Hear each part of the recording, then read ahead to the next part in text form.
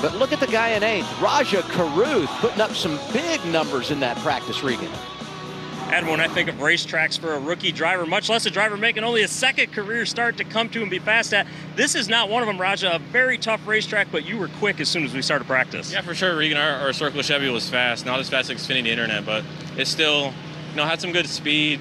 We fired off like with a mock run there, and to just kind of get my bearings, especially after being in the ARCA Menard Series car. But um, overall, I feel pretty decent. Just need to be a little bit more freed up. You know, the rubber makes it worse, that kind of tight sensation. So I need more in the, the loose direction. I think I'll be okay. Good luck today, Rajah. Thanks. He's